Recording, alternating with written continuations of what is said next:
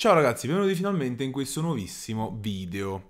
Oggi siamo qui, come avrete capito da titolo e copertina, per reagire alla nuova MT-09 appunto di casa Yamaha. Come ben saprete io sono un felice possessore della MT-09 SP del 2020, produzione dal 2017, e quando l'ho acquistata diciamo che non, non, sapevo appunto della prossima uscita del nuovo modello, ma col senno di poi sono contento dell'acquisto che ho fatto. Ora, tutto l'internet ne sta parlando, tutto il mondo ne sta parlando. Questa moto ha un design abbastanza discutibile. Può piacere, ma la maggior parte è evidente che non piace. Lo sto dicendo non perché appunto me ne sto andando per un'idea o perché semplicemente lo penso io, ma perché appunto tutti quanti stanno esprimendo il proprio dissenso sul design della nuova moto. Ora, a prescindere dal design, andremo a parlare appunto e a vedere insieme eh, cosa hanno cambiato con questo nuovo modello e se magari questo nuovo design è giustificato dall'implementazione di qualcosa di nuovo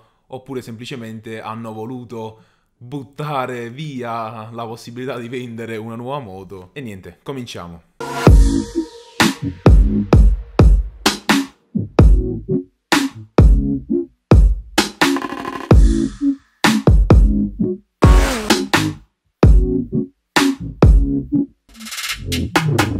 Allora, dati tecnici alla mano del sito ufficiale Yamaha, dopo la presentazione ufficiale appunto della moto, possiamo vedere che come caratteristica principale abbiamo un nuovo motore. La nuova MT-09 monta sempre un CP3, ovvero un motore crossplane classico Yamaha, da 889 cm3, quindi sale la cilindrata rispetto al modello precedente che è di 847 cm3, a favore dell'implementazione dell'Euro 5.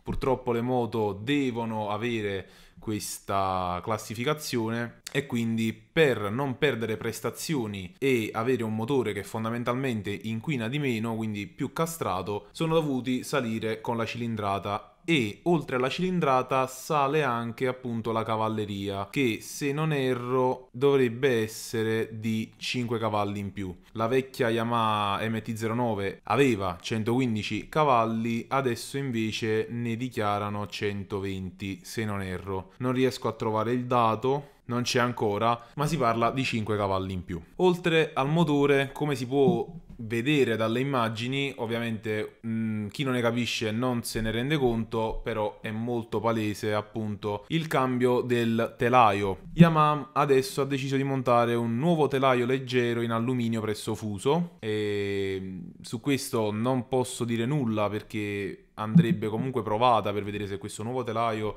riesce a dare sensazioni diverse quali stabilità, qualsiasi cosa. Il telaio non è come il motore, non possiamo avere un dato, quindi va provata la moto e espresse le emozioni che dà il nuovo telaio. Oltre a questo abbiamo un eh, IMU o IMU a 6 assi e sistemi di assistenza al pilota sensibili all'inclinazione, quindi molto probabilmente è stata implementata dell'elettronica in più lo vediamo anche dal nuovo display TFT a colori da 3,5 pollici, nuovo faro anteriore a LED bifunzionale compatto, cosa che ha fatto discutere il mondo, questo faro che non si può guardare a parer mio, il faro dell'MT09 modello 2017, 2020, 2019 è qualcosa di spettacolare, veramente bellissimo lo potete vedere dalle mie foto su Instagram, vi invito a seguirmi su Instagram, però hanno deciso di cambiarlo, non si sa per quale motivo, per me hanno fatto uno sbaglio incredibile. Cambio elettronico Quick Shift, stiamo parlando della, del modello base, non della versione SP, la versione SP non è stata ancora annunciata e la versione base parte già con un Quick Shift quindi cambio elettronico, soltanto in salita a quanto si capisce. Vedendo però dalle immagini del contachilometri del quadro strumenti